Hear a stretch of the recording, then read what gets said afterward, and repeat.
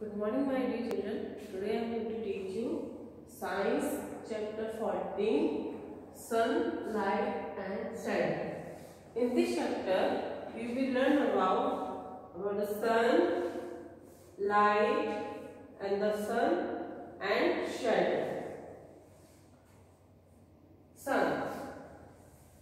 We always have the question in our mind why can we see so many stars in the night but not in the afternoon during the day stars are always present in the sky but the sun being the brightest of all hide the other star during the daytime जो star होते हैं वो हमें दिन में इसलिए नहीं दिखाई देते क्योंकि जो सन बहुत ही ब्राइट पे चमकीला होता है उसके लाइट के कारण जो स्टार होते हैं वो हाइड हो जाते हैं the sun is the natural source of light sun क्या है? नेचुरल सोर्स है लाइट का.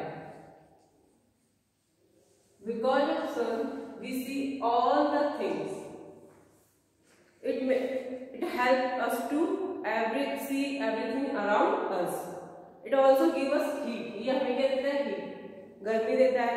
We work and play at the light of the sun हम अगर डार्क होगा सभी जगह तो हम प्ले नहीं कर सकते ना वर्क नहीं करेंगे, कर सकते हैं।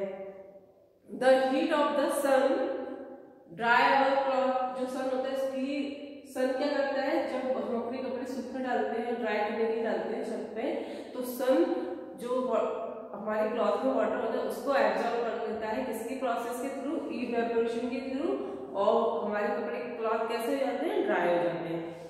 The heat of the sun help the right fruit sun क्या करता है? सन ही. जैसे आपने प्लांट देखा, वो कैसे ग्रो करते हैं? अगर उनको सनलाइट नहीं मिलेगी तो वो क्या ग्रो कर सकते हैं? नहीं, क्योंकि बिना without sunlight they prepare their food sun की प्रेजेंट में सनलाइट की प्रेजेंस में ही प्लांट अपना फ़ूड मेक करते हैं. इसीलिए फ्रूट्स को राइट करने के लिए सन की नीड होती है।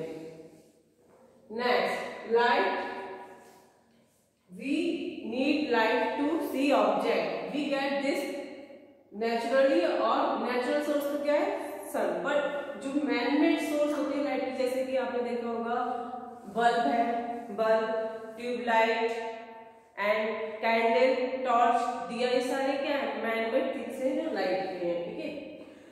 Next the sun and the shadow the sun cause of shadow जैसे आपने देखा है, हम कहीं चल रहे हैं, जैसे जाते हैं तो हमारे पीछे ब्लैक ऑब्जेक्ट्स आपको दिखाई देते हैं। तो वो क्या होता है?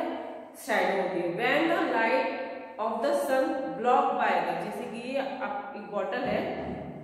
आपने देखा। जब ये कैसी ट्रांसपेरेंट है तो लाइट इसके लाइट से पास उसके बिहाइंड मतलब बैक पर जा रही है तो आपको एक शेडो दिखाई दे जब पड़ेगी लाइट तो आपको इसकी एक शेडो दिखाई देगी, ठीक है? तो इसको बोलते हैं shadow dark area beside the object is called shadow a shadow is form on the opposite जो शेडो होती है, हमेशा लाइट की अपोजिट डायरेक्शन में जैसे मान लीजिए ये बुक है बुक पे आपको शेडो लाइट की शेडो लाइट पड़ी तो इसकी जो शेडो उसके अपोजिट साइड साइड पे आपको शेडो दिखाई दे जैसे लाइट लाइट का सोर्स ये है, मानो लाइट का बल्ब ये सोर्स है तो उस पर लाइट पड़ रही है। लेकिन इसकी जो शेडो होगी, वो अपोजिट साइड पे जाके दिखाई देगी आपको। अवर शेडो इज़ रफली the same shape as our body जैसे हमारी बॉडी की शेप है या इस बॉटल की जो शेप है या फिर इस बुक की जो शेप है, उसी की अकॉर्डिंग आपको उसकी शेडो दिखाई देगी। When we move our shadow move with us जैसे हम मूव करेंगे, जैसे हम चलते तो आपको पीछे आपको दिखाई देता है शेडो ब्लैक कलर की आपको दिखाई देगी, वो भी हमारे साथ मूव करती है। लेट्स डू एन एक्टिविटी क्या करते हैं? शेडो को देखने के लिए कैसे वर्क करती है? उसको हम करते हैं। Move in different way we see how are our shadow change play game with our your shadow जैसे आप एक गेम खेलिए जैसे आप देखेंगे दिन के टाइम में नून में आप जाइए और फिर देखिए शेडो भी आपके साथ, आगे, पीछे राइट लेफ़्ट आपको दिखाई देगी। सब जैसे कुछ ऑब्जेक्ट होते हैं। थिंग्स जैसे कि ये बॉटल लिया जब इसमें सनलाइट पड़ रही है तो इसके अंदर जो वाटर है वो आपको दिखाई दे रहा है, इसलिए दिखाई दे रहा है क्योंकि कैसी है? ट्रांसपेरेंट है। तो सम ऑब्जेक्ट आर ट्रांसपेरेंट तो हम उसके अंदर की चीज़ों को देख सकते हैं। ट्रांस मतलब कि पारदर्शी। ट्रांसपेरेंसी होता है पारदर्शी। जिसे कि हम किसी, जैसे आप ग्लास में आप मिल्क पीते हैं और एक, जैसे आपका कोई भाई या बहन है, आपको एक कांच की ग्लास में आपको मम्मा ने क्या दिया? मिल्क दिया और उसको स्टील के ग्लास में दिया। तो आपने देख देख पाएँगे कि उसके ग्लास में कितना आपने मिल्क मम्मा ने उसको दिया। नहीं, क्योंकि जो स्टील का ग्लास होता है, वो क्या होता है? ट्रांसपेरेंट नहीं होता है। वो कैसा होता है? ओपे क्यू? ओ पे क्यू होता है? उसके अंदर से लाइट पास नहीं कर सकती। जैसे कांच का स्टील का ग्लास है, उसके अंदर से क्या लाइट पास नहीं कर पाती है? सन जो भी आप जैसे ट्यूबलाइट है, बल्ब, उसकी लाइट पास नहीं कर पाती, इसलिए आप उसके अंदर की चीज़ों को नहीं देख पाते कि उसके अंदर कितना मिल्क मम्मा ने आपको दिया है। लेकिन जो ग्लास होता है कांच का, उसके उसके अंदर से लाइट पास कर जाती है। लाइट पास कर जाएगी तो आपको मालूम होगा कि उसमें कितना how much water milk there तो आपको उसमें मिल्क की क्वांटिटी आपको दिखाई देगी। तो ये हो जाता है आपका ओपेक्यू अपारदर्शी। और ये हो जाएगा ट्रांसपेरेंट पारदर्शी। एक होते हैं translucent translucent translucent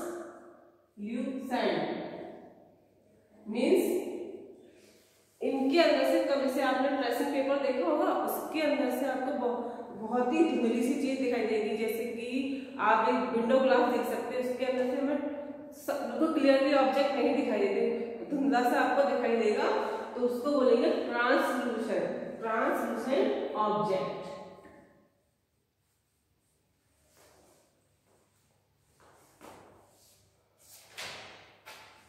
In the morning and evening, our shadow is big, long होती है, जैसे जब सुबह के समय में और इवनिंग में। इवनिंग टाइम में हमारी शैडो लॉन्ग होती है और आफ्टरनून में हमारी जो शैडो होती है वो हमेशा कैसी होती है शॉर्ट होती है आफ्टरनून में in afternoon our shadow is short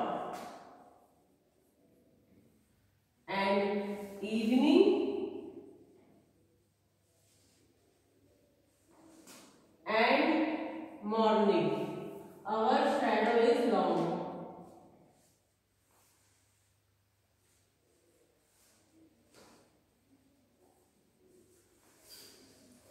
in the morning you your shadow is in the west side और जब आप मॉर्निंग में हैं, जैसे आप किसी साइड पे खड़े हैं तो आपकी जो शेडो होगी वो बेस्ट साइड में बनेगी और इन द इवनिंग जो आपकी शेडो ईस्ट डायरेक्शन में बनेगी। Student read this chapter carefully and learn do reading practice of transparent object and opaque and translucent read carefully